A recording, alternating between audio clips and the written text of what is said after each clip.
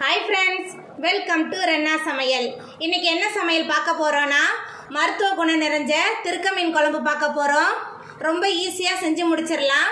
அந்த சுவையான திருக்க மீன் குழம்பு எப்படி செய்கிறேன்னு வாங்க பார்த்துடலாம் திருக்க மீன் குழம்பு பண்ணுறதுக்கு முதல்ல எண்ணெயை சூடு பண்ணிடலாம். மூணு ஸ்பூன் நல்லெண்ணெய் சேர்த்துக்கலாம். எண்ணெய் நல்லா சூடாயிட்டு இப்போ ஒரு டேபிள் ஸ்பூன் வெந்தயம் சேர்த்துக்கலாம்.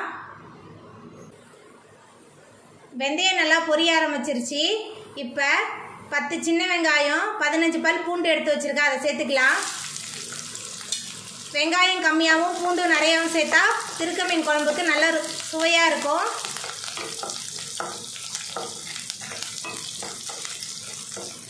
வெங்காயம் பூண்டு நல்லா வதங்கி வரட்டும்.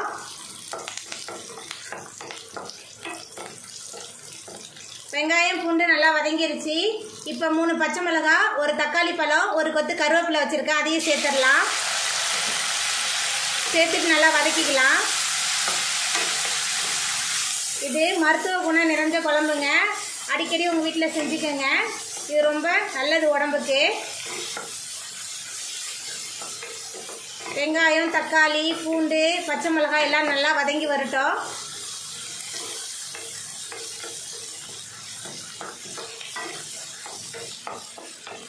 நம்ம சேர்த்த எல்லாம் நல்லா வதங்கி வந்துருச்சு.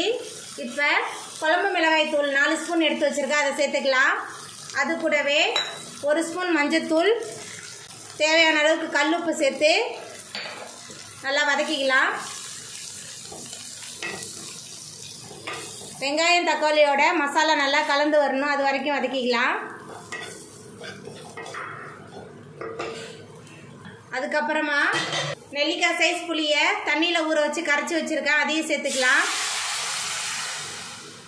தேவையான அளவுக்கு தண்ணி சேர்த்துக்கலாம்.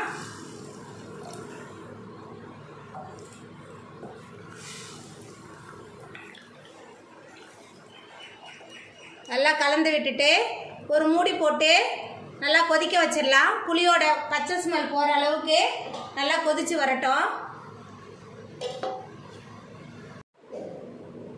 நம்மளோட குழம்பு நல்லா கொதிக்க ஆரம்பிச்சிருச்சு. இதில் பத்து பல் பூண்டு ஒரு ஸ்பூன் மிளகு ஒரு ஸ்பூன் சீரகம் மூணையும் மிக்சியில் போட்டு ஒன்றும் பாதியமாக அரைச்சி வச்சுருக்கேன். அதை சேர்த்துக்கலாம். எல்லாம் கலந்து நல்லா கொதிக்க ஆரம்பிச்சிருச்சு. இப்போ திருக்க மீனை சேர்த்துக்கலாம். திருக்க மீனில் கருப்பு கருப்பாக இருக்கும். அதை ஒரு கத்தி வச்சு பின்பக்கம் நல்லா சுரண்டி விட்டு தேய்ச்சி வச்சுருங்க.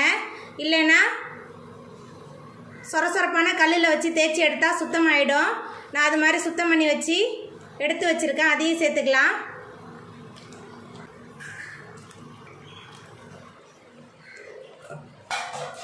ஒரு அஞ்சு நிமிஷத்துக்கு மூடி போட்டு வேக வச்சிடலாம். மீன் நல்லா வெந்து வரட்டும்.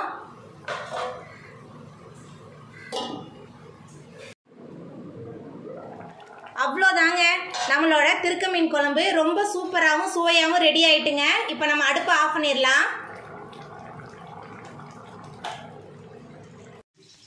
அவ்வளோதாங்க. நம்மளோட திருக்க மீன் குழம்பு ரொம்ப சூப்பராக ரெடி ஆயிட்டு. இந்த திருக்க மீன் குழம்ப நீங்களும் உங்கள் வீட்டில் செஞ்சு பாருங்கள் இந்த வீடியோ உங்களுக்கு பிடிச்சிருந்தா லைக் பண்ணுங்கள் ஷேர் பண்ணுங்கள் கமெண்ட் பண்ணுங்கள் சப்ஸ்கிரைப் பண்ணுங்கள் அப்படியே பக்கத்தில் உள்ள பெல் பட்டனையும் கிளிக் பண்ணிடுங்க நன்றி.